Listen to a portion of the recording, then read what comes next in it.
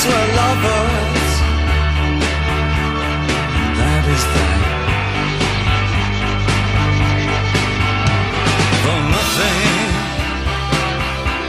will keep us together. We could still die